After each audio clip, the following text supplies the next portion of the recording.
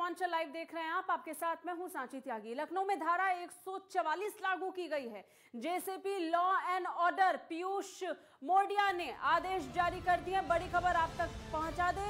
विधानसभा के आसपास किसी भी प्रकार के धरना प्रदर्शन पर प्रतिबंध लगाई गई है। कोविड के बढ़ते संक्रमण को लेकर ये दिशा निर्देश जारी किए गए आपको बता दें, कोरोना की सभी गाइडलाइंस का सख्ताई से पालन कराने के लिए ये फैसला लिया गया और इस बीच restaurant hotel, cinema hall, multiplex, gym, stadium 50 फ़ीसदी की क्षमता के साथ ही खोले जा सकेंगे। लखनऊ में मास्क पहनना अनिवार्य कर दिया गया है और इस बीच अब घर से बाहर निकलने पर मास्क पहनना अनिवार्य होगा, नहीं तो लगेगा जुर्माना। बड़ी खबर आप तक पहुँचा रहे हैं। विधानसभा के आसपास में धरना प्रदर्शन करना प्रतिबंधित है। धारा 144 लगा दी गई है लखनऊ में। ये बड़ी खबर आप तक पहुँचा रहे हैं। JCP, law and order Piyush Mordia ने आदेश जारी कर दिया है। इस बीच विधानसभा के आसपास किसी भी प्रकार के धरना प्रदर्शन पर पूर्णतः रोक रहेगी। इसके अलावा कोविड के बढ़ते संक्रमण को देखते हुए, नए वेरिएंट के बढ़ते प्रकोप को देखते हुए दिशा निर्देश जारी हुए हैं। कोरोना की सभी गाइडलाइंस का सख्ताई से, कड़ाई से पालन करना होगा। इसके अलावा restaurant hotel, cinema hall, multiplex, gym, stadium 50 फ़ीसदी की क्षमता के साथ ही खोले जा सकेंगे। इस बीच ज़्यादा जानकारी के साथ हमारे साथ हमारे सहयोगी प्रदीप आनंद श्रीवास्तव लखनऊ से जुड़ गए उनसे बात करेंगे। प्रदीप, जानकारियाँ क्या मिल रही हैं? देखिए साथी, जिस तरह से आज जो है JCP law and order Piyush Mordia ने प्रेस कॉन्फ्रेंस की है उसको देखते हुए जो उन्होंने एक प्रस्तुतिकरण की है उसमें जो धर्मस्थल है, पचास लोगों से अधिक श्रद्धालु एक साथ एक बार में इकट्ठा नहीं हो पाएँगे। सरकारी भवनों के आसपास ड्रोन कैमरे से शूटिंग पर अब प्रतिबंध है लखनऊ में। वही खुली जो खुले स्थान है, खुले स्थानों में क्षेत्रफल के अनुसार आयोजन किया जाएगा, लेकिन प्रवेश द्वार पर कोविड हेल्प डेस्क बनाना एकदम ज़रूरी होगा। जो बंद जगह होंगे, वहाँ पर आयोजनों में सौ से अधिक व्यक्ति शामिल नहीं होंगे। और अब अगर बात करें तो लखनऊ में बिना मास्क के कोई भी व्यक्ति अगर पकड़ा जाता है तो निश्चित रूप से उसके ऊपर भारी भरकम जुर्माना जो है लगाया जाएगा। इसके अलावा restaurant hotel cinema hall multiplex gym stadium को पचास फ़ीसदी क्षमता के साथ ही खोला जाएगा। तो अच्छा, तो कहीं ना कहीं अपडेट्स भी बता दीजिए कोरोना की क्या स्थिति है उत्तर प्रदेश में इस समय क्योंकि देश भर में नए वेरिएंट ओमिक्रॉन से जुड़े मामले भी लगातार निकलकर सामने आ रहे हैं। अगर उत्तर प्रदेश का ज़िक्र करें तो उत्तर प्रदेश में क्या स्थिति है इस नए वेरिएंट को लेकर के? क्या भी यूपी बचा हुआ है? और अगर बचा है तो आगे की तैयारियाँ क्या यहाँ से शुरू हो जाएँगी? लखनऊ उसका एक एग्ज़ाम्पल आज से सेटअप कर रहा है प्रदीप। बिल्कुल साथी, अगर हम बात करें तो जो नया वेरिएंट आया हुआ है ओमिक्रॉन उसको लेकर सजगता तो है ही स्वास्थ्य विभाग में। और अगर आइडेंटिफिकेशन की बात करें आइडेंटिफाई अगर मरीजों की बात करें तो निश्चित रूप से एक दो लोगों को टेस्ट किया गया है, लेकिन अभी उनका सैंपल आना बाकी है, उसके बाद ही स्वास्थ्य विभाग ये आंकड़ा दे पाएगा कि ओमिक्रॉन से जुड़े हुए कितने लोग जो है अभी जो है लखनऊ में है और उत्तर प्रदेश में कितनी संख्या हुई है। लेकिन कहीं ना कहीं से जो तीन ऐसे विदेशी पर्यटक जो मथुरा में आइडेंटिफाई हुए थे उनका जो सैंपल है वो भी देर शाम तक आ जाएगा। तो ये पता चल जाएगा कि ओमिक्रॉन के कितने यहाँ पर जो है मरीज़ है। फ़िलहाल अगर हम आगे खबरों के लिए भी आपको बनाकर रखेंगे प्रदीप। हमारे साथ बने रहिएगा। इस बीच एक और बड़ी खबर सामने आ रही है। वो अपने दर्शकों तक पहुँचा दे। कांग्रेस राष्ट्रीय महासचिव प्रियंका गांधी ने बड़ा ऐलान कर दिया। आठ दिसंबर को कांग्रेस का महिला घोषणा पत्र जारी कर देंगी। लखनऊ के कांग्रेस मुख्यालय पर विशेष प्रेस कॉन्फ्रेंस के साथ ये बड़े ऐलानों की शुरुआत प्रियंका गांधी करेंगी। बड़ी खबर आप तक पहुँचा रहे हैं। आज का दिन चुनावी लिहाज से बहुत महत्वपूर्ण रहा, दिलचस्प रहा एक तरफ़ जहाँ गोरखपुर में प्रधानमंत्री नरेंद्र मोदी, मुख्यमंत्री एक साथ आए, विपक्ष पर जमकर निशाना साधा। दूसरी तरफ़ मेरठ में सपा और आरएलडी ने मिलकर के एक रैली की और दूसरी तरफ़ कांग्रेस राष्ट्रीय महासचिव प्रियंका गांधी ने बड़ा ऐलान आज कर दिया उत्तर प्रदेश चुनाव के मद्देनजर। उन्होंने 8 दिसंबर को कांग्रेस का महिला घोषणा पत्र जारी करने की बात कही। आपको बता दें, कांग्रेस ने इस बार घोषणा पत्र को जारी करने का तरीका कुछ अलग रखा है, विशेष रखा है। इस बार घोषणा पत्र जनता से जानने की कोशिश की है कि क्या कुछ घोषणाएँ उन्हें घोषणा पत्र में रखनी चाहिए। लेकिन महिला घोषणा पत्र का आना बहुत विशेष माना जा रहा है। इससे पहले विधानसभा चुनाव में महिलाओं की उम्मीदवारी को आरक्षित करने की बात प्रियंका गांधी ने की थी और उसके बाद अब महिला घोषणा पत्र के ज़रिए से क्या ऐलान करेगी कांग्रेस? बड़ा दिलचस्प रहेगा। लगातार हमारे से होगी प्रदीप आनंद श्रीवास्तव हमारे साथ जुड़े हुए हैं। फिर एक बार उनका रुख करेंगे। प्रदीप, जानकारी बताइए, प्रियंका गांधी घोषणा पत्र जारी कर देंगी, वो भी सिर्फ़ और सिर्फ़ महिलाओं से जुड़ा हुआ। सांची प्रियंका गांधी के जो तेवर थे पहले प्रेस कॉन्फ्रेंस में उन्होंने जिस तरह से महिलाओं को लेकर अपने अपना बयान दिया था कि वो पचास फ़ीसदी महिलाओं को जो है इस बार टिकट देंगी। निश्चित रूप से जो उनका मैनिफेस्टो होगा उसमें महिला सशक्तिकरण से जुड़े हुए तमाम ऐसे मुद्दे हैं जिन पर उन्होंने कॉन्सेंट्रेट किया है और अपने पार्टी के जो कैडर नेता है उनको निर्देशित किया है। अगर हम बात करें तो प्रियंका गांधी का जो प्रेस कॉन्फ्रेंस है प्रियंका गांधी जिसमें जो प्रेस कॉन्फ्रेंस करने वाली है जो मैनिफेस्टो लोगों के सामने रखने वाली है उसमें सबसे बड़ी बात ये होगी कि जो उत्तर प्रदेश की आबादी है, आबादी का जो पचास फ़ीसदी आबादी का जो पचास फ़ीसदी हिस्सा है, वो महिलाओं को समर्पित वो कर रही है। महिलाओं को इस बार जो है सीट दे रही है उनको, उनकी दावेदारी कर रही है। इसके अलावा जो बेटियाँ हैं, बेटियों को, जो उन, बेटियों को लेकर उनका एक जो नारा था, बेटी हूँ, लड़की हूँ, लड़ सकती हूँ, उसको लेकर एक बड़ा जो है ऐलान कर सकती है, महिला सुरक्षा को लेकर एक ऐलान कर सकती है। फ़िलहाल बहुत ही बेसब्री से जो है उत्तर प्रदेश आठ तारीख को देख रहा है कि प्रियंका गांधी क्या कुछ बोलने वाली है। अच्छा मुद्दे बहुत सारे प्रदीप, लेकिन एक मुखर होकर के जिस मुद्दे को कांग्रेस उठाने की, बुनाने की कोशिश कर रहे वो महिलाओं से जुड़ा हुआ है। चाहे इससे पहले उम्मीदवारी में आरक्षण देने की बात महिला को या फिर अब महिला घोषणा पत्र जारी करने को लेकर। प्रियंका गांधी किस रणनीति के साथ आगे बढ़ेंगी? प्रदीप, क्या यहाँ से वो तस्वीर अब साफ़ होने लगी है? महिला के मोर्चे को संभालते हुए, महिलाओं के हक की बात करते हुए, क्या 2022 के चुनाव को जीत पाएँगी प्रियंका? इस समय सबसे बड़ा सस्पेंस इस सवाल पर खड़ा है। देखिए साथी, प्रियंका गांधी के इरादों को हम साफ़ पूरी तरह इसे कह सकते हैं, क्योंकि विधानमंडल दल का नेता उन्होंने मोना मिश्रा को बनाया, जो कि एक विधानसभा को का नेतृत्व करती हैं। और उन्होंने अपने पहले प्रेस कॉन्फ्रेंस में स्पष्ट कर दिया था कि हम महिलाओं को लेकर आगे बढ़ेंगे। जो उनकी रणनीति है, वो उत्तर प्रदेश की महिला और जो युवतियाँ हैं, उनको लेकर है। आपने कहीं कहीं भी उनके संबोधन में महिला और युवतियों को ज़्यादा तरजीह देते हुए देखा है। तो कहीं ना कहीं से उत्तर प्रदेश की जो वर्तमान सरकार है, उससे लड़ने के लिए प्रियंका गांधी की ये जो रणनीति है, महिलाओं को अपने तरफ़ लेके आओ वोट पाओ और फिर आगे आने वाले दिनों में विधानसभा चुनाव में देखना दिलचस्प होगा कितना सफल ये मोर्चा नज़र आता है जिसका झंडा इस समय ले रखा है। प्रियंका गांधी ने महिला मोर्चा को मज़बूत करने की दिशा में अब आ, महिला घोषणा पत्र जारी करेगी कांग्रेस। खैर इस बीच आगे बढ़ेंगे। प्रधानमंत्री नरेंद्र मोदी ने गोरखपुर में कई परियोजनाओं का उद्घाटन किया। आपको बता दें तकरीबन 9,600 करोड़ रुपए से अधिक मूल्य की विकास परियोजनाओं को राष्ट्र को समर्पित किया है। प्रधानमंत्री नरेंद्र मोदी ने। वहीं मुख्यमंत्री योगी आदित्यनाथ ने कहा कि गोरखपुर का उर्वरक कारखाना 10 जून 1990 में बंद हो गया था और 1990 से लेकर 2014 तक यानी 24 वर्षों तक किसी ने इसकी सुध लेने का काम नहीं किया। लेकिन 2016 में प्रधानमंत्री ने गोरखपुर में इसका शिलान्यास किया और पहले स्थापित कारखाने की तुलना में यह चार गुना बड़ा है। वहीं प्रधानमंत्री मोदी ने संबोधित कर कहा कि पाँच साल पहले मैं यहाँ एम्स और खाद कारखाने का शिलान्यास करने आया था। आज इन दोनों का एक साथ लोकार्पण करने का सौभाग्य भी मुझे मिल गया है। आईसीएमआर के रीजनल मेडिकल रिसर्च सेंटर को भी अपनी नई बिल्डिंग मिली है। वहीं प्रधानमंत्री मोदी ने कहा कि लाल टोपी वालों को आतंकवादियों पर मेहरबानी दिखाने और आतंकियों को जेल से छुड़ाने के लिए सरकार बनानी है। इसलिए याद रखिए, लाल टोपी वाले उत्तर प्रदेश के लिए रेड अलर्ट हैं, यानी खतरे की घंटी हैं। आपको बता दें कि एम्स और काद कारखाने का शिलान्यास पहले हो चुका है और इसके बाद आज लोकार्पण करने के लिए प्रधानमंत्री नरेंद्र मोदी यहाँ पर पहुँचे। इस बीच ग्राफिक्स के ज़रिए से कुछ जानकारियाँ आप तक पहुंचाएँगे।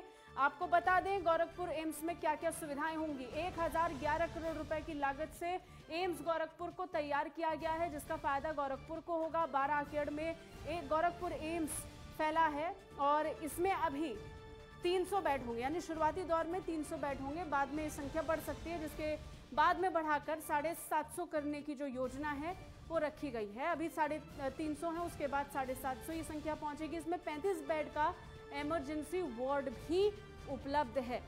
वो तमाम सुविधाएँ जो एम्स अस्पताल में रहेंगे, हम बता रहे हैं। चौदह मॉड्यूलर ऑपरेशन थिएटर बनाए गए हैं, यानी पूरी तरीके से अत्याधुनिक सुविधाओं से लैस होगा operation theatre, pathology lab, digital x-ray x-ray lab CT scan lab, MRI, ultrasound lab भी इसमें मौजूद रहेंगी। कैंसर रोग डिपार्टमेंट में head and neck clinic, radiotherapy की भी व्यवस्था एम्स में की गई है। इसके अलावा डुअल एनर्जी की रेडियोथेरेपी हो पाएगी। इसके अलावा ब्रेकी थेरेपी होगी। सीटी सेमुलेटर मशीनें इसमें लगाई गई हैं। इसके अलावा हीमोफीलिया मरीजों की जाँच और इलाज की व्यवस्था भी एम्स में रखी गई है। करीब सात करोड़ आबादी को इसका सीधा फ़ायदा मिलने वाला है, न सिर्फ़ गोरखपुर को, लेकिन इसके आसपास के जिलों को भी बड़ा फ़ायदा होगा। चिकित्सीय सुविधाओं का फ़ायदा बिहार, झारखंड, नेपाल तक के लोगों को मिलेगा। यानी वो लोग जो एम्स आना चाहते हैं, उनके लिए अच्छा विकल्प बन गया है। शिलान्यास 22 जुलाई 2016 को प्रधानमंत्री मोदी के हाथों ही हुआ था और आज इसका लोकार्पण हो रहा है। संचालन करता है इसके हिंदुस्तान उर्वरक एवं रसायन लिमिटेड है। गोरखपुर खाद कारखाने की जानकारी आप आप तक पहुँचा रहे हैं। आठ हज़ार छह सौ तीन करोड़ की लागत से इस खाद कारखाने को तैयार किया गया है। पहले के मुकाबले ये और बड़ा है और विशाल है। नीम कोटेड यूरिया से किसानों को लाभ मिलेगा। अगर लाभ का ज़िक्र करें तो कोशिश यही है कि बड़े स्तर पर फ़ायदा हो। रोज़ाना 3,850 मैट्रिक टन उत्पादन करने की जो योजना है वो बनाई गई है। गोरखपुर खाद कारखाने का फ़ायदा। प्रतिवर्ष 12 लाख सत्तर हज़ार मेट्रिक टन उर्वरक उत्पादन की क्षमता रखी गई है। और इसके साथ ही कोशिश यह है कि इसका फ़ायदा ज़्यादा से ज़्यादा लोगों को हो। तीस करोड़ रुपए की लागत से विशेष रबर डैम भी यहाँ पर बनाया गया है, जिस पर गोलियों का भी असर नहीं होता है। तो ये कुछ ज़रूरी जानकारियाँ हैं कारखाने से जुड़ी हुई, जहाँ पर खाद उर्वरक को ध्यान में रखते हुए कारखाना बना है। कारखाने का प्रीलिंग टावर दुनिया में सबसे ऊँचा है। इसकी ऊंचाई कुतुब मीनार की ऊंचाई से भी दोगुनी बताई जा रही है और उससे भी ज़्यादा आकी जा रही है कि कुतुब मीनार से दोगुनी होने से भी ज़्यादा इसकी ऊंचाई है। तीस फ़ीसदी से ज़्यादा पूर्वांचल के युवाओं को नौकरी देने का काम इस खाद उर्वरक कारखाने के ज़रिए से होगा। इससे सीधा फ़ायदा पूर्वांचल के युवाओं को होगा। यानी भारी तादाद में रोज़गार के अवसर पैदा करने की कोशिश होगी और इन सब के बीच योगी आदित्यनाथ और प्रधानमंत्री नरेंद्र मोदी ने मंच से कई बातों का ज़िक्र किया। सबसे पहले सुनवाएँगे आपको प्रधानमंत्री नरेंद्र मोदी ने क्या कुछ कहा। कि जो खाद उपलब्ध थी, उसका इस्तेमाल चोरी छिपे खेती के अलावा और भी कामों में गुपचुप चला जाता था। इसलिए देश भर में यूरिया की किल्लत तब सुर्खियों में रहा करती थी। किसानों को खाद के लिए लाठी गोली तक खानी पड़ती थी। ऐसी स्थिति से देश को निकालने के लिए ही हम एक नए संकल्प के साथ आगे बढ़े। विभिन्न जिलों को विभिन्न योजनाओं देने का काम मौजूदा सरकार कर रही है। इस बीच विपक्ष पर भी जमकर निशाना साधा गया। इस बीच मुख्यमंत्री योगी आदित्यनाथ ने मन से क्या कुछ कहा, वो भी एक बार सुनवाएँगे आपको। गोरखपुर का फर्टिलाइज़र कारखाना 10 जून 1990 को बंद हो गया था। और 1990 से लेकर के 2014 तक 24 वर्षों तक किसी ने भी सुध लेने का प्रयास नहीं किया। 2016 में आदरणीय प्रधानमंत्री जी ने गोरखपुर में ही आकर के, गोरखपुर के इसी फर्टिलाइज़र कारखाने का शिलान्यास किया था। और आज भाइयों बहनों पहले से गोरखपुर में स्थापित उर्वरक कारखाने के स्थान पर बना ये नया कारखाना पहले की तुलना में चार गुना बड़ा क्षमता का आज बनकर के तैयार हो गया है। और अगर शिलान्यास प्रधानमंत्री जी के कमलों से हुआ है तो उद्घाटन भी प्रधानमंत्री जी के कर कमलों से हो रहा है। इस कारखाने की सबसे बड़ी बात यही है कि इसका फ़ायदा पूर्वांचल के 30 प्रतिशत युवाओं को होने वाला है। फ़िलहाल एक छोटे से ब्रेक के लिए रुकेंगे। जल लौटेंगे बने रहिए हमारे साथ।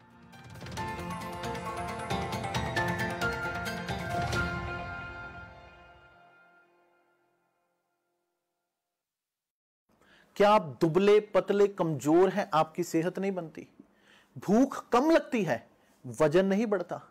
दरअसल, मेन बात खाना पीना खाना नहीं है। मेन बात है खाया पिया लगना। और अगर खाया पिया लगेगा ही नहीं तो सेहत बनेगी कैसे? इसलिए हमारी संस्था सन्यासी आयुर्वेदा ने एक ऐसी दवा बनाई है, जो कि आपके पाचन तंत्र को, आपके लीवर सिस्टम को ठीक करने का काम करती है। ताकि आप जो भी खाएँ उसका पूरे का पूरा निचोड़ आपके शरीर को लगे, आपकी भूख बढ़े, खाया पिया सही से लगे, नया खून बने, हड्डियों में जान आए, वज़न बढ़े, ताकत बढ़े, चेहरे पर नूर आए और आप मोटे, तगड़े, खूबसूरत पर्सनैलिटी के मालिक बन जाए। यह दवा पूरी तरह से आयुर्वेदिक होती है। इसका शरीर पर कोई भी साइड इफ़ेक्ट कोई भी नुकसान या दुष्प्रभाव नहीं होता। लड़के, लड़कियाँ दोनों इसका इस्तेमाल कर सकते हैं और पहले पंद्रह दिन के अंदर ही आपको इसका असर महसूस हो जाएगा। सिर्फ़ 650 रुपए की पूरे एक महीने की दवा होती है और आप इसे घर बैठे zero double one four five four five four five four five पर फ़ोन करके दवा मंगवा सकते हैं।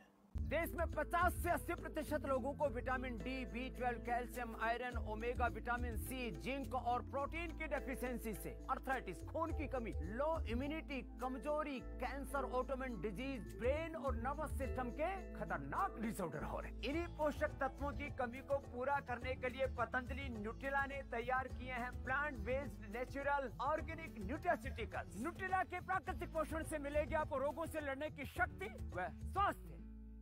दिल्ली सरकार के स्कूलों के तीन लाख बच्चे, उनके इक्यावन हज़ार बिज़नेस आइडियाज़ और सरकार की ओर से 60 करोड़ रुपए का सीड कैपिटल ये है दुनिया का सबसे बड़ा startup program business blasters business blasters program के हर एपिसोड में हम मिलेंगे ऐसी ही तीन टीमों से, जो इन्वेस्टर्स के सामने अपने बिज़नेस आइडिया को करेंगी पिच ताकि उन्हें अपने बिज़नेस के लिए मिल सके इन्वेस्टमेंट अब कल के बड़े बड़े बिजनेसमैन एंड वुमेन निकलेंगे दिल्ली सरकार के स्कूलों से। बिज़नेस ब्लास्टर्स 28 नवंबर से हर रविवार शाम सात बजे प्रमुख टीवी चैनल्स पर। उत्तराखंड के ग्रामीण युवाओं और महिलाओं को स्वरोजगार से जोड़ने के लिए राज्य सरकार जैविक शहद उत्पादन को बढ़ावा दे रही है। न्याय पंचायत स्तर पर मधु ग्राम बनाने की ओर आगे बढ़ रही उत्तराखंड सरकार राज्य में फल सब्ज़ी फूलों की खेती के साथ ही शहद उत्पादन के ज़रिए किसानों की आर्थिकी भी मज़बूत बना रही है। मधुमक्खी के जो बॉक्स हैं हमें घर आके सरकार द्वारा दिए गए लाभदायक है ये और बड़ा महँगा बिकता भी है बाज़ार में। नरेंद्र नगर की सकलाना रेंज हो या अल्मोड़ा में रानी खेत के किसान मधुमक्खी पालन और शहद उत्पादन से जुड़कर ये मौन पालक आज राज्य सरकार की योजनाओं का लाभ उठाते हुए खुद को आत्मनिर्भर बना रहे हैं। समृद्धि की मिठास इनके मुस्कुराते चेहरों पर दिखाई दे रही है। उत्तराखंड में 6000 से अधिक मौन पालक, सालाना 2200 मीट्रिक टन शहद का उत्पादन, सालाना उत्तराखंड से 200 करोड़ का शहद निर्यात। उत्तराखंड सरकार प्रत्येक जिलों में बना रही मधु ग्राम। किसानों को आदर्श मधुमक्खी पालन, ऋतुवार प्रबंधन। मधुमक्खी पालन में समस्या और समाधान, डंक रहित मधुमक्खी पालन पर ट्रेनिंग दी जा रही है। प्रदेश के किसानों ने समृद्धि का जो सपना अपनी खुली आँखों में संजोया है, उसको आज उत्तराखंड सरकार साकार कर रही है। स्वरोजगार ने खोले समृद्धि के द्वार, उम्मीदों के पथ पर उत्तराखंड सरकार। आप अंग्रेज़ी दवाओं से परेशान हैं, या फिर रोगों से परेशान होकर संसार से उठ जाना चाहते हैं? उठ जाने से पहले नाड़ी वैद्य क्या आइए और अपने सभी रोगों का आयुर्वेद में सही समाधान पाइए।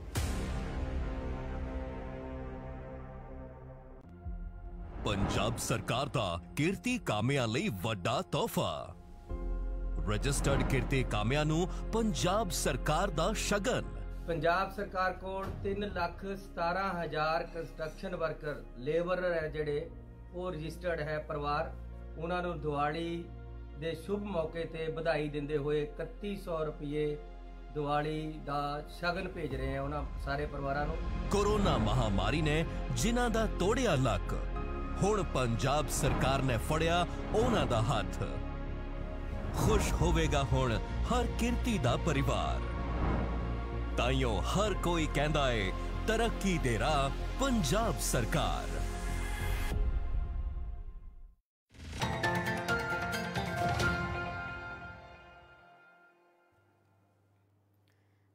फिर से स्वागत है आपका खबरों में आगे बढ़ेंगे। उत्तर प्रदेश के सिंचाई जल शक्ति मंत्री महेंद्र सिंह श्रावस्ती पहुँचे और यहाँ राप्ती बैराज का निरीक्षण किया।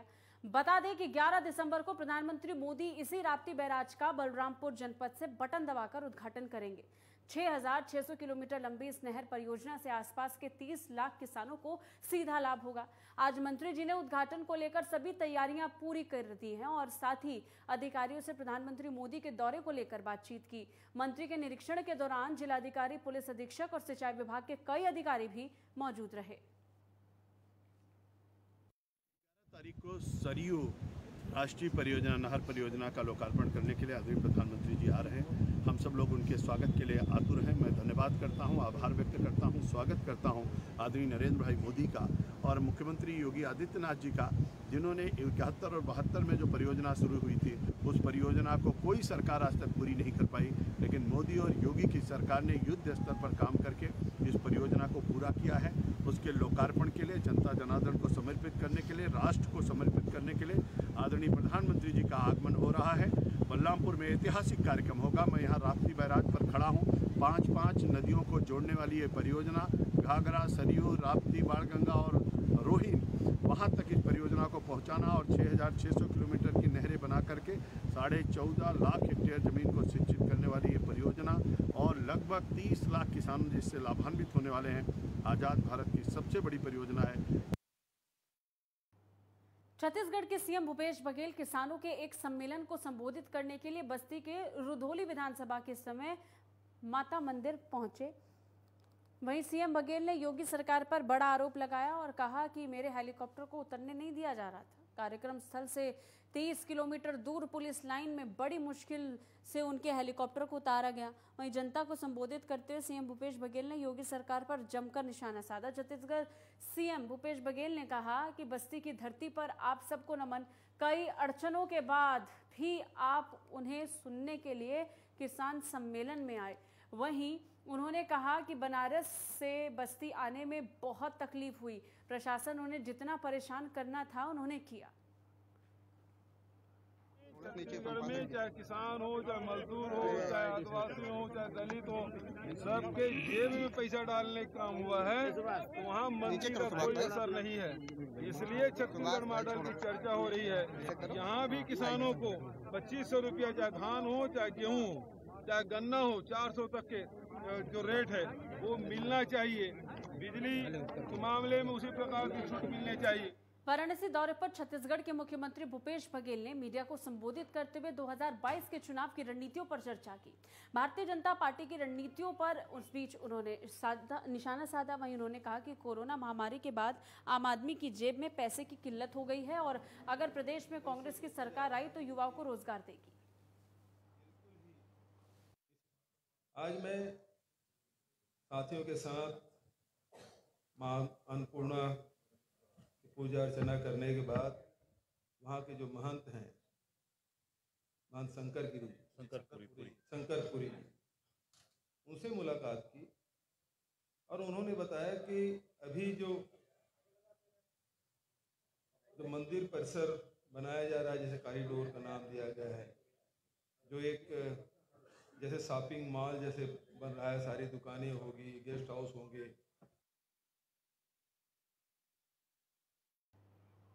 लखनऊ में आज कांग्रेस पार्टी कार्यालय में मीटिंग हुई, जिसमें कांग्रेस की राष्ट्रीय महासचिव प्रियंका गांधी भी मौजूद रही। मीटिंग खत्म होने के बाद पत्रकारों से बातचीत करते हुए प्रियंका गांधी ने कहा कि चुनावों के लिए हर स्तर पर तैयारियाँ हो रही हैं। दरअसल अब की बार कांग्रेस ने उत्तर प्रदेश में महिलाओं को अपना बड़ा मुद्दा बनाया है। महिलाओं को आरक्षण देना और उन्हें सशक्त बनाना कांग्रेस की अब की बार पहली प्राथमिकता है।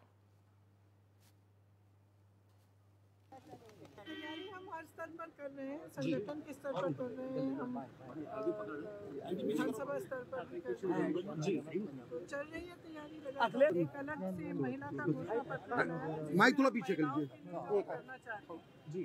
खास एक अलग घोषणा पत्र माइक थोड़ा पीछे करो। उसको हम में फ़िलहाल इतना ही। देश और दुनिया की तमाम खबरों के लिए देखते रहे नेटवर्क टेन। जय हिंद।